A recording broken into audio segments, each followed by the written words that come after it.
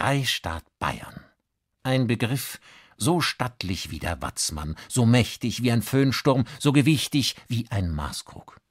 Umso erstaunlicher, dass dieser Freistaat Bayern einst ausgerufen wurde von einer äußerst unbayerischen Person. Kurt Eisner war es, ein Zurgorster, aus Berlin und Sozialist obendrein. Der Weltkrieg, von dem man damals noch nicht ahnte, dass es erst der erste war, ging nun schon ins fünfte Jahr. Die Niederlage des Deutschen Reiches war abzusehen. Da nutzte Eisner die Gunst der Stunde oder eher die Kriegsmüdigkeit des Volkes und die Morschheit der Monarchie und erklärte Bayern zur Republik. Bayern ist fortan ein Freistaat. So proklamierte er im November 1918, vermutlich in gespreiztem Hochdeutsch, aber immerhin im Malteserbräu. Nicht alle waren mit Eisner und seinen politischen Ideen einverstanden und so formierten sich zahlreiche Gruppierungen von Unzufriedenen. Bürgerliche, die Eisner vorwarfen, ein Bolschewist zu sein, Radikale, Revolutionäre, die Eisner vorwarfen, kein Bolschewist zu sein, Spartakisten, Anarchisten, Monarchisten, katholische, völkische. Sie alle versuchten, ihre Vorstellungen von einem besseren Bayern durchzusetzen, mit Propaganda, Intrigen und auch ganz handfest. So kam es zu zahlreichen Putschen. Presseputsch, Palmsonntagsputsch, Bürgerwehrputsch und der Lotterputsch.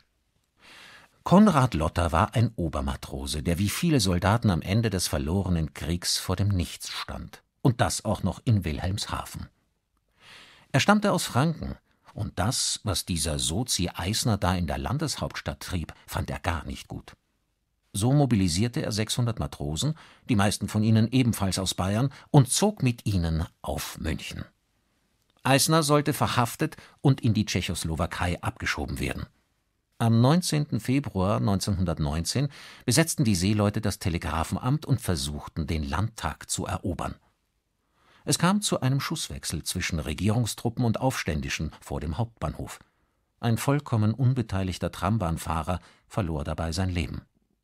Dann brach der Aufstand auch schon zusammen Lotter verbrachte ein paar Wochen im königlichen Strafvollstreckungsgefängnis Stadelheim, kam straflos wieder frei und starb hochbetagt im Jahre 1978.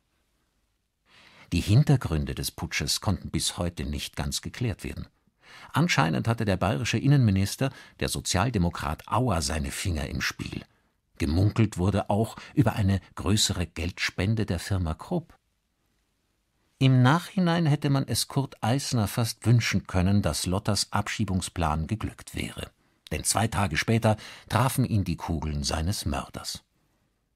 Der Freistaat, den er einige Wochen zuvor proklamiert hatte, er existiert immer noch. So kraftvoll wie die Donau, so imposant wie die Zugspitze, so fest wie eine Wettertanne. Aber wer erinnert sich daran, dass er einstmals von einem Berliner Sozialisten ausgerufen wurde. Das war das Kalenderblatt, heute von Julia Devlin. Es sprach Hans-Jürgen Stockerl.